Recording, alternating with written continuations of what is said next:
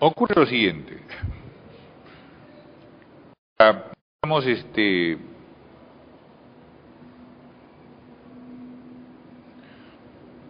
digamos, este, poder dar ejemplos así pedagógicos, ¿no es cierto? Yo podría escribir en la pizarra, por ejemplo, mi perro ladra fuerte, por ejemplo, ¿no? Y podría escribir, mi gato es bisilábico, o perdón, no. Y podría escribir también, gato es bisilábico, ¿no? O sea, podría decir, mi gato es bisilábico, gato es bisilábico, ¿no? Y mi perro ladra fuerte. Si yo digo que mi perro va a ladrar fuerte, nadie va este, a llamarse a sorprenderse, ¿no? Es una expresión normal. Pero si digo, por ejemplo, que mi gato es bisilábico, me dirían, oye usted, pero los gatos no son bisilábicos, ¿no? son mamíferos, etcétera, pero la palabra bisilábico no corresponde a mi gato. Pero si digo gato es bisilábica, entonces podría argumentar en mi defensa y decir, señores, pero la palabra gato tiene dos sílabas. Y cuando digo gato es bisilábica, estoy hablando en perfecto castellano, por decirlo así. Y en estos casos estoy, digamos, hablando de objetos. Hablando de mi perro que ladra fuerte. Y estoy hablando de mi gato es bisilábico, pero en este caso estoy cometiendo un error importante porque estoy atribuyendo a mi gato propiedades que no corresponden a los animales. Pero cuando digo la palabra gato es bisilábica, también estoy hablando de un objeto. En este caso sería la palabra gato, que de acuerdo a lo que he establecido antes y he definido antes, la palabra gato es un objeto lingüístico. Entonces, ¿en qué consiste el problema principal en este caso? El problema principal, cuando digo mi gato es bisilábico, es que estoy cometiendo lo que se llama en filosofía del lenguaje un error categorial. Un error categorial consiste en atribuir a un objeto una propiedad que no le corresponde. Por ejemplo, cuando digo mi gato es bisilábico, ahí hay un error categorial porque la palabra bisilábica no se atribuye a este a los gatos, ¿no? o a los perros. Y por tanto, hay algo así como una categorización o clasificación de las propiedades. Hay propiedades que son de los objetos y hay propiedades que son de los objetos lingüísticos. En el primer caso me refiero a los objetos llamados tempoespaciales. ¿no? Entonces, por ejemplo, yo puedo decir que el lapicero es azul, y es correcto, es un objeto tiempo espacial y el color es una propiedad. Pero no puedo decir, por ejemplo, que la palabra este gato es de color azul. Pero en cambio puedo decir que la palabra gato es bisilábica. Puedo decir que es labiollana, por ejemplo. Puedo decir que es una palabra castellana. Y en todo eso, en, todos estos casos, estoy enfatizando que, digamos, la palabra gato tiene ciertas propiedades propias de la palabra.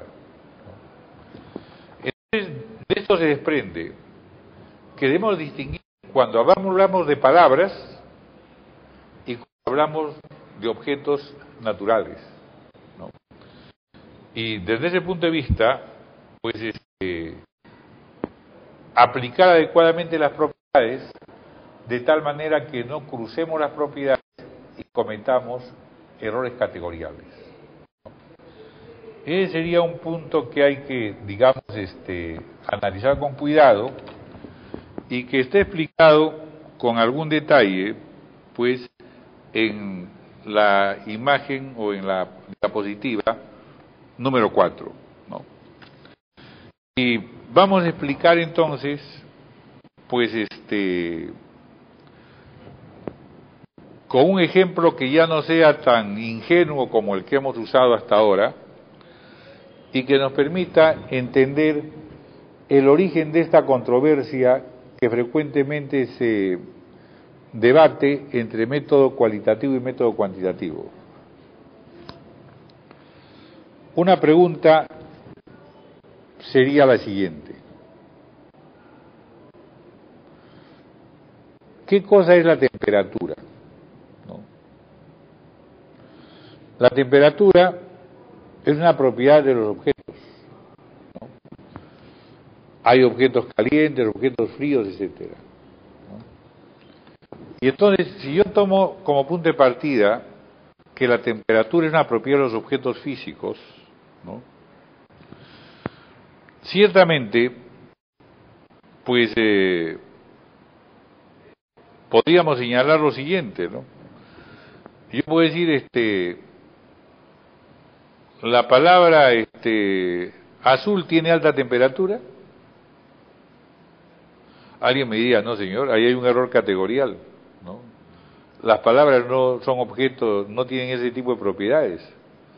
Usted está aplicando la, la, una propiedad de un objeto material, tiempo espacial, a un objeto lingüístico.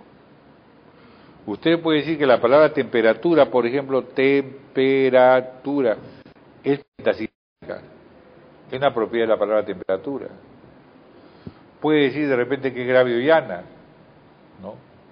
En fin, puede decir, digamos, varias cosas de ella. Puede decir que es un sustantivo, por ejemplo, ¿no? O que es un adjetivo. En este caso sería, digamos, este, pues podemos usarla con, digamos, básicamente como un sustantivo, una denominación de una propiedad, digamos, o como un adjetivo también en otros casos. Entonces, este, pues eh, pero consideremos el hecho físico de la temperatura, ¿no? No la palabra temperatura, sino la temperatura como propiedad de objetos. Si nosotros pensamos, por ejemplo, que un médico de hace 300 años encontraba a un paciente con fiebre, ¿no? Entonces decía, bueno, este paciente está calenturiento, ¿no? O está muy calenturiento, o tiene fiebre alta o fiebre baja. Pero no podía decir, pues este tiene 37 fiebre, o 37 y medio, o 41, ¿no? En la escala de grados centígrados. Pues no había termómetro. Pero hoy día ningún médico diría, ¿sabe qué? Tiene fiebre porque está caliente o, está frío, ¿no? O expresarse en términos cualitativos. Si usted llama al médico, el médico le dice, póngale el termómetro, ¿no? Bueno, tiene 37 y medio, o sea que ya tiene algo de fiebre, ¿no?